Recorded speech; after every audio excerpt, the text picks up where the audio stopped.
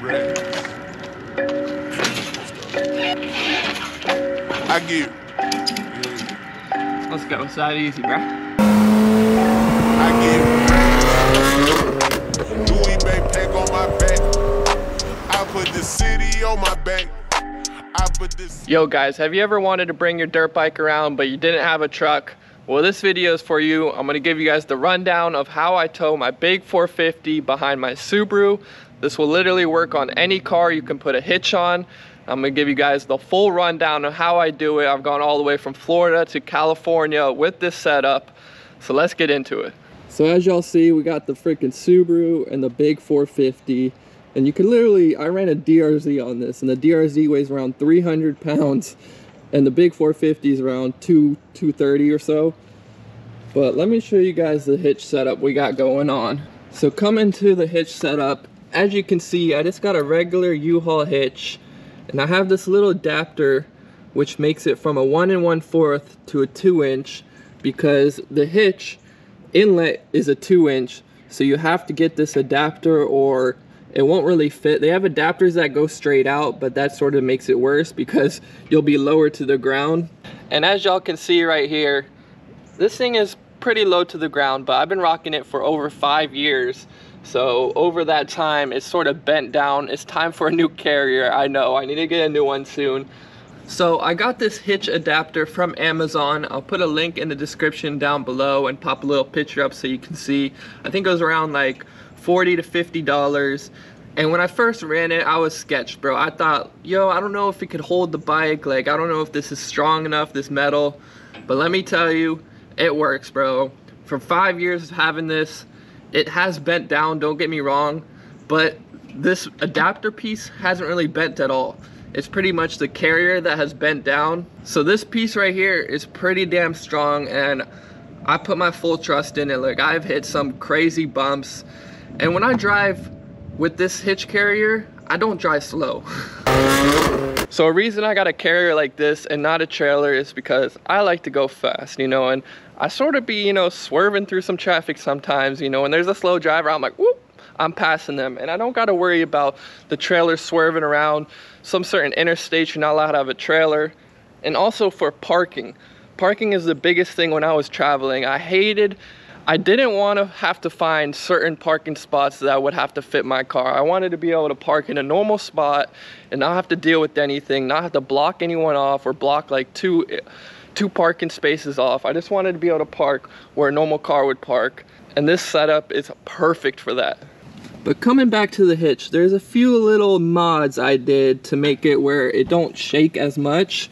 And it is these little lock systems right here. I got this one from Amazon and this is uh, just like a stabilizer that helps it from moving back and forth and up and down. And then this one came with my carrier. I bought the carrier from like Craigslist a while ago and the carrier came with this already like stabilizer on it so I'm not sure exactly where you can get this one but I'm pretty sure you could just put the one I have on the bottom on this top too, and it would do the same thing. But I've always just kept the stock one that the carrier came with. Well, at least my carrier came with that. I'm not sure if all of them do, but it does wonders. But don't get me wrong, this thing is still gonna be wobbling around as you can see. But like, it's not going nowhere, bro. I don't even have these too tight right now. Like, I'll tighten her up a little bit for y'all. So I tightened it up a bit as you can see and it's always going to be wobbling. It's always going to be wobbling even the back and forth. It's gotten worse over the years because I'm pretty sure my stabilizers are a little worn out. If I get some new ones, I'm pretty sure it would stiffen it up a little bit. But even so, like the wobble isn't really that bad while you're driving. Like I was saying earlier, like I be swerving with this thing through traffic sometimes when I'm, you know, when I'm in that mode, just like I want to get to where I want to get really fast and there's some slow drivers, I'll be swerving this thing and I've never had a problem with the bike falling off except once. And luckily, I had a strap over the seat. So I usually run a strap over the seat from this point across to that point down there, just for an extra stabilization. With the dirt bike, I would suggest having three straps, two on the bars on each, well, one on the bar on each side, and then one over the seat and you can sort of see the mark it makes. Which it will sort of make a mark on your seat but that's just always how I ran it. And over the years of having this setup I've seen it on so many different cars. I'm not sure if I inspired them or not. Some I know that I have because they freaking hit me up about my setup asking like yo how'd you do it? Like what what hitch hauler did you get? What blah blah blah. So I've seen this setup on like Honda Civics, Subarus as you can tell. And of course like the normal vehicles like Jeeps. I know Zach Goes had a Jeep and he did the setup like this too, which is more normal. I feel like you used to see these setups on Jeeps and trucks, sometimes trucks, even though I'm like, you got a bed, why would you need it?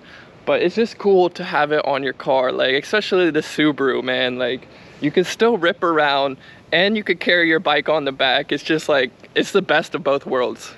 The main downside of sort of having this setup is definitely going to affect your rear springs. It's going to make them sag a little bit. As you can see, I got the bike on right now and we still got some room, don't get me wrong. When I had my DRZ, it definitely was like, I would almost be rubbing on the tire because I do have 10 and, 10 and a half inch wide wheels. So that wasn't the best, but it did always work. And over like the five years of running this setup, I've seen the springs definitely get worn down a little bit where like the back is hanging down a little when I don't even have the bike on there, but it's barely noticeable. When you take the bike off, you can barely tell the difference of that weight of the bike being on that springs for so long. Like you can't even tell. But I mean, overall, this setup is just amazing. It's literally transformed my life being able to travel with my favorite car with my favorite bikes right behind it and not really have to worry about anything. Because I remember when I first got my bike and I was like, dude, I want to travel. I want to travel so damn bad. But it's like, I don't have a truck. All I had was my car.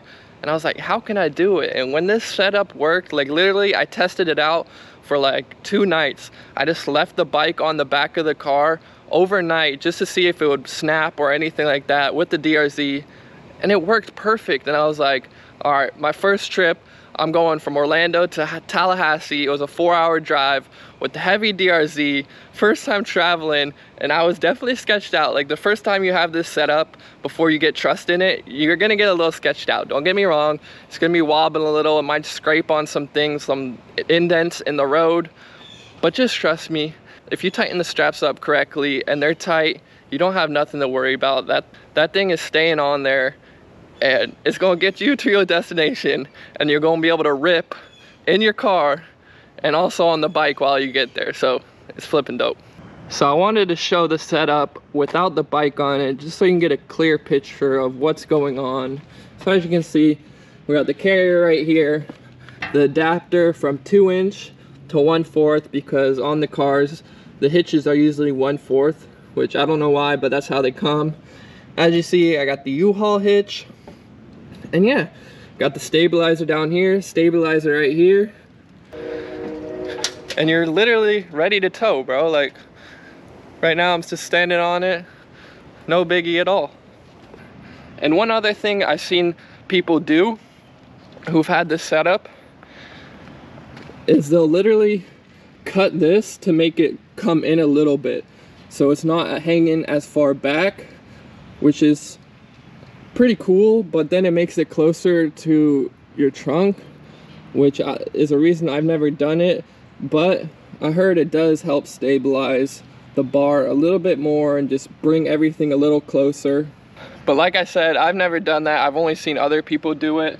Like I have a homie who put this on like a Mustang and he cut it in a little bit because his was hanging back a little, little too far and it worked fine. So you can do this setup literally on any car, Subi, Civic, Mustang, any car, pause, any car you can put a hitch on, I'm literally telling you can put this setup on and it's gonna work and you're gonna be able to bring your bike everywhere. So gang, this is the video you might have been waiting for if you wanna do this setup on your car. I know a lot of people have been asking me on the DMs like, yo, how does this setup work? And I always try to respond because like I had no information when I first started this and it's just helpful for the upcoming people like if they want to have a setup like this on how to do it. So hopefully this video taught you something and I want to see you guys ripping your freaking cars with your dirt bike on the back. Send me some freaking pictures on Instagram or anything like that. But yeah, hopefully this helped you out. I freaking love you. Stay motivated, stay disciplined. Till next time, peace.